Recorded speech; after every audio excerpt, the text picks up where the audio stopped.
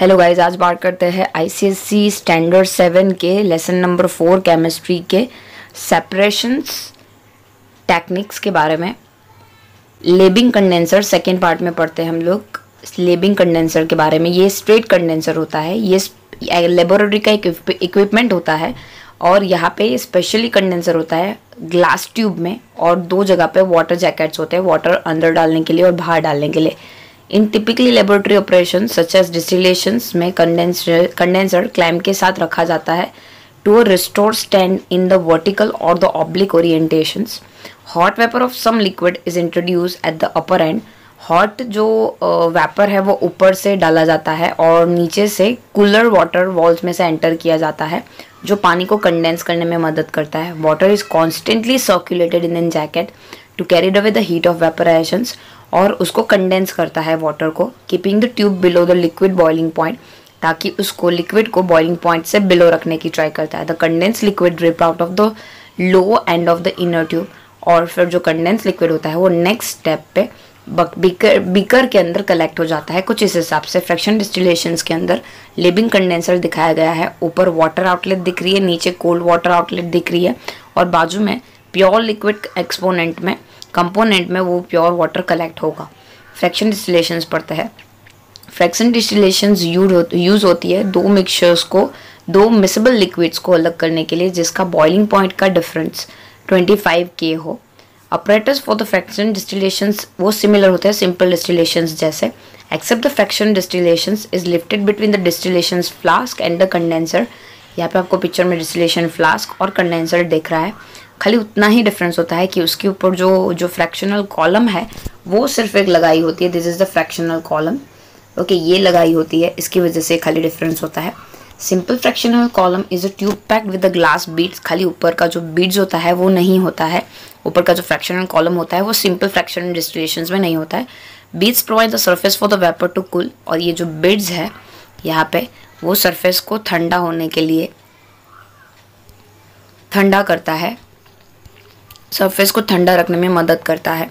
The beach provide surface for the vapour to cool and the condense rapidly when vapour of the mixtures are passes through the fraction column because of the repeated condensation and evaporation condensation और evaporation frequently होता रहता है तो vapour of the liquid with the lower boiling point जो vapour जो liquid का जो boiling point lower होता है, वो पहले पास किया जाता है फ्रैक्शन कॉलम में से पास हो जाता है and are collected in the receiver flask और जो बाजू में जो रिसीवर फ्लास्क है वहाँ पे कलेक्ट हो जाता है। The other liquid with the slightly higher boiling point जिसका कम बॉइलिंग पॉइंट है, वो बाजू के बीकर में जाके कलेक्ट हो जाता है, जिसका हाईली हाई बॉइलिंग पॉइंट है। It can be collected in then similar fashion इन दिन अनदर रिसीव फ्लास्क और वैसे ही दूसरे फ्लास्क में हम लोग जिसका हाइयर बॉइलिंग पॉइंट है, वो दूसरे फ्लास्क में हम लोग कलेक्ट कर सकते हैं।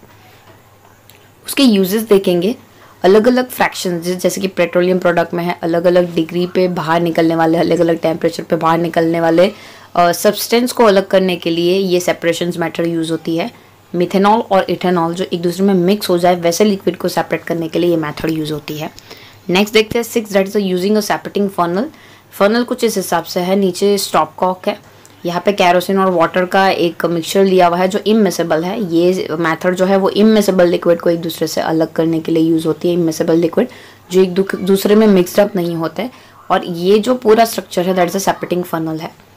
Separating funnel is use for the separation of the component of a mixtures between two immiscible liquid one phase is aqueous phase and the other will be organic solvent एक का phase aqueous phase होना चाहिए और दूसरे का organic solvent होना चाहिए। मतलब ये दोनों एक दूसरे में मिक्स ना हो, वैसे होने चाहिए। एक उसके ऊपर तैरना चाहिए फ्लोट करना चाहिए।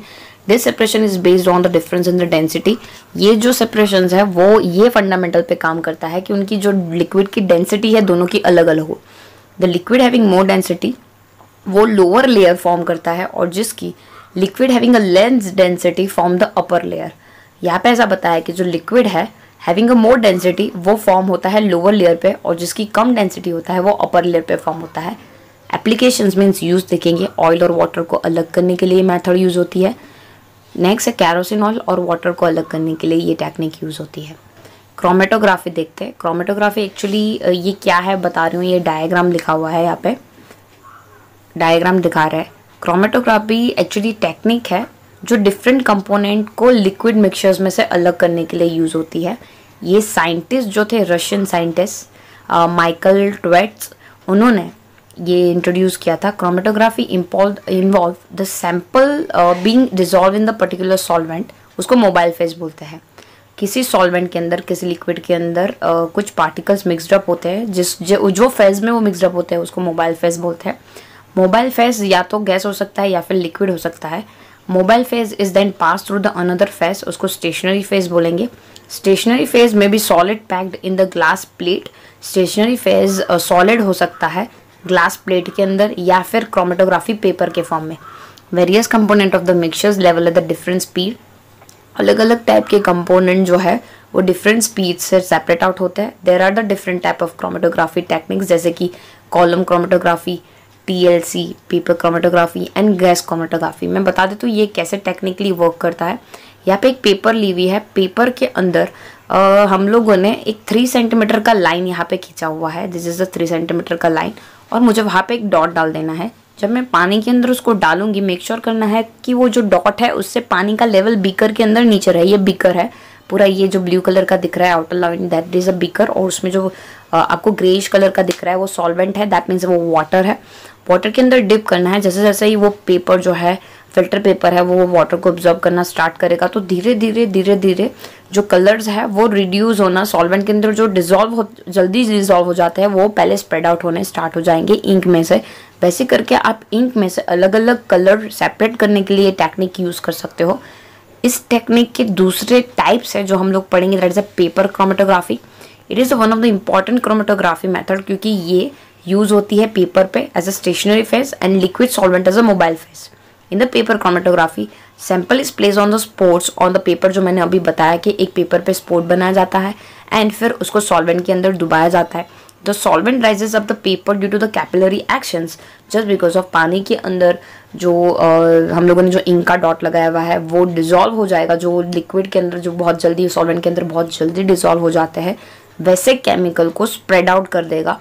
एंड कैपिलरी एक्शंस की वजह से component of mixture rises at the upper different rates thus are separated from the one another so in जैसे एलिमेंट में से मैं अलग अलग टाइप की फ्रिक्वेंसी वाले डिजॉल्विटी के हिसाब से मैं कलर को डिफरेंट कर सकती हूँ, अलग कर सकती हूँ। ये डाई में से कलर को अलग करने के लिए separate pigment from the nature colour nature colour में से पिगमेंट अलग करने के लिए और ड्रग ब्लड में से ड्रग को अलग करने के लिए मेथड यूज़ होती है। Thank you thank you for watching अगर आपको वीडियो पसंद आई है तो प्लीज़ लाइक कर दीजिए और ज़रूर बताइए कि आपको वीडियो कैसी लगी कमेंट बॉक्स में।